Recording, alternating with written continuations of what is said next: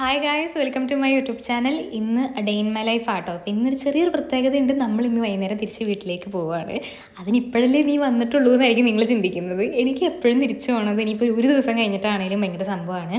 അപ്പോൾ ഒരു പതിനൊന്നരയൊക്കെ ആയപ്പോൾ ഞാൻ എണ്ണീച്ച് സെറ്റായി വന്നു. ഒരു നാൽപ്പത് മിനിറ്റ് വെയിറ്റ് ചെയ്യേണ്ടി വന്നു. കാരണം ജുമ ആയതുകൊണ്ട് ഇവർ കുറച്ച് പതുക്കെയാണ് ബിരിയാണിയുടെ ചെമ്പ് പൊട്ടിക്കുള്ളൂ. ഇപ്പോൾ സെൻട്രൽ കഫേ വന്ന് നല്ല അടിപൊളി ചിക്കൻ ബിരിയാണി കഴിച്ചു. നല്ല വിശപ്പുണ്ടായിരുന്നു. ആക്രാന്തായിരുന്നു ആക്രാന്തം. പിന്നെ വോയിസ് ഓവർ ചെയ്യണമെന്ന് വെച്ച് കഴിഞ്ഞാൽ ഫുള്ള് പിള്ളേരായിരുന്നു. അപ്പോൾ എനിക്ക് നാണമായതുകൊണ്ടാട്ടോ ഞാൻ ചെയ്യാൻ അപ്പം വീക്കെൻഡായി നമുക്ക് ഞാനപ്പോൾ ഡ്രസ്സൊക്കെ മാറി ഒരുങ്ങി.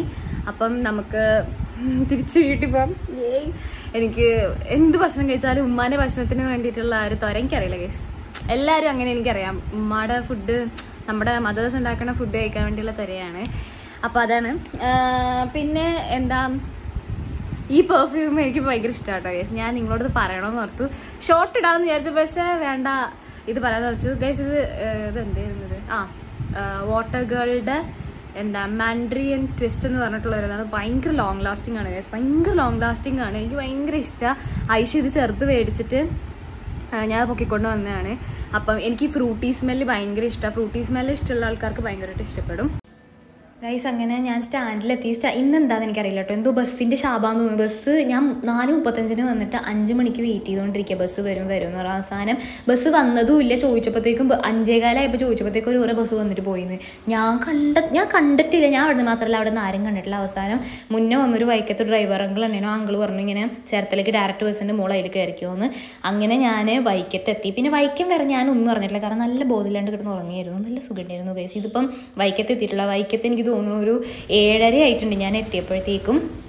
പിന്നെ അങ്ങോട്ടേക്ക് ഒരു ഓട്ടപ്പാച്ചിലായിരുന്നു. കാരണം വൈക്കത്തോട് ചേർത്തലേക്ക് ഒത്തിരി ദൂരം ഇല്ല ചേർത്തല നാലപ്പുഴയ്ക്കും ഒരു ഇതുമില്ല. ഇനി ചേർത്തലേക്ക് എത്തുമ്പോഴാണ് അടുത്ത കോമഡി കേസ് അത് നിങ്ങളൊന്ന് കാണണം. ചേർത്തലയിൽ മറ്റേ ആദ്യമായിട്ടാണ് ആ സ്റ്റാൻഡിൽ വരുന്നത്. അതുകൊണ്ട് എനിക്ക് മറ്റേ പാതിരയ്ക്ക് അയച്ചിട്ട് കോഴിയക്കൂട്ടായിരുന്നു. ഒന്നും എനിക്ക് അറിയാൻ പാടില്ലായിരുന്നു. എന്താണ് കിട്ടിയ എന്തോ ഒരു ഭാഗ്യം ഉണ്ടായിരുന്നു. എന്തോ ഒരു ഭാഗ്യം ഉണ്ടായിരുന്നു. ഞാൻ എനിക്ക് ഞാൻ ചെന്ന് ചോദിച്ചതും ആ ചേട്ടൻ ഇങ്ങനെ തലവന്നിച്ച് നോക്കിയപ്പോൾ പറഞ്ഞു ഇങ്ങനെ ഒരു ബസ് ഉണ്ട്. അങ്ങനെ ആ സ്വിഫ്റ്റിനകത്ത് ഞാൻ ഇങ്ങനെ ചാടിക്കയറി ഗൈസ് ഹുഫ് ഒരു വല്ലാത്തൊരു ഒട്ടപ്പാച്ചൽ യാത്ര. നമ്മൾ ആലപ്പുഴ എത്തിയിരിക്കുകയാണ് സുഹൃത്തുക്കളെ. ഡാഡിജി ദയിപ്പിക്കാൻ വേണ്ടി വന്നു.